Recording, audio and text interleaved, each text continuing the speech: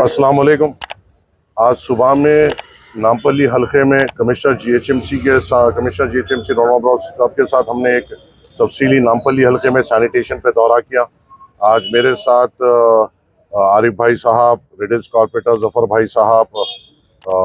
Mallapalli corporator Qasim भाई साहब, विजनर colony corporator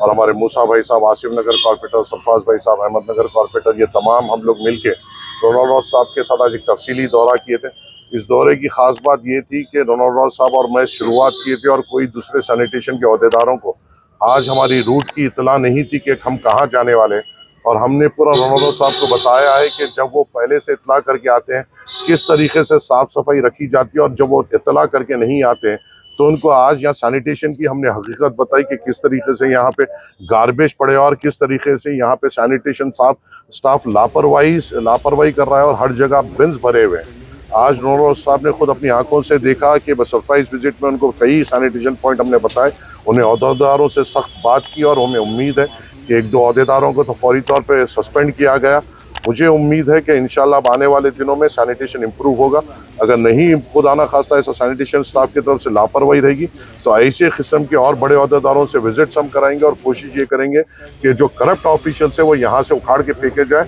और सही ईमानदार ऑफिसर्स जो सही तौर पर आवाम की खिदमत कर सके, वो यहाँ पे फ़ील्ड पर मौजूद हो। शुक्रिया असल और इतना है तो